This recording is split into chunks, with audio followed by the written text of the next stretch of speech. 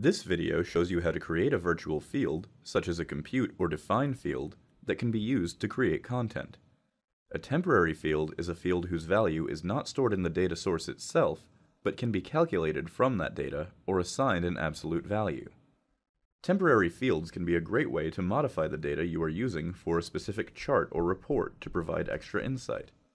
Temporary fields also take up little storage space on the server because they are created as needed. For example, sometimes your data offers useful information that is not part of the data itself, but can be easily extrapolated from it. In such cases, it is possible to add this field to your chart or report alongside the fields already in the master file. You can use a define to create a new field based on fields in your data before the values in them are compiled. For instance, you can combine multiple fields into one in order to consolidate columns, such as creating a field for city and state instead of having separate columns for each. To do so, open the Data tab and click Detail Define. When the expression builder opens, change the format to alphanumeric and set a character limit that is long enough for all of the values in the field. Fields with words use the alphanumeric format. Time-related fields use the date or date time format, and numeric fields use one of the other field formats. Once you have set the format, add customer city to the expression from the list of fields at the right. Click the button to add an absolute value sign, add two single quotes inside it, and type a comma followed by a space inside the quotes.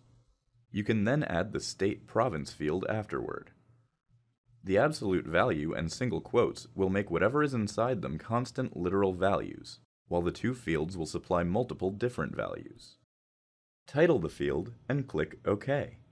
As you can see, the new define field appears in the data pane. Add it to the report, retitling the column according to your preference by right-clicking the column header and selecting Column Title. Now you have city and state in one column, properly formatted. You can also create a define field for a master file when you are in the Edit Metadata step that is part of the data wrangling process. A define field created as part of this process is available whenever the master file is used.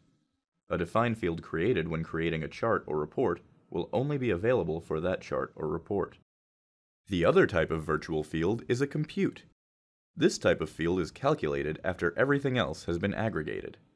As a result, it uses very few resources to create a compute, and it is the only way to use prefix operator aggregations, such as the average or median operator, or create a temporary field from joined data. On the other hand, it can only be used as a sum field, and not as a by field. And a computed field appears immediately in your chart or report, and not in the data tree. Computes are great for creating numeric fields that can be quickly calculated for your chart or report. For example, maybe you want to make a new field to see the average revenue for each sale. This isn't a field yet, but it can be calculated by dividing the values in the revenue field by the correlating values in the sale units field. To calculate this field, navigate to the Data tab and click Summary Compute. Just add the revenue field to the editor by double-clicking it.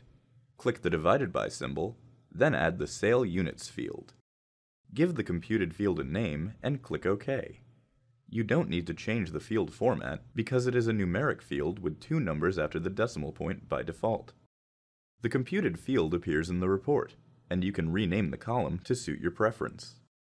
When you run the report, you will see that both the define field and the compute field contain information synthesized from pre-existing fields in the data source. You can use defines and computes to make more advanced temporary fields, with the ability to create complex numeric, alphanumeric, and date and time fields. If you'd like to find out more, check the resources available in our Information Center.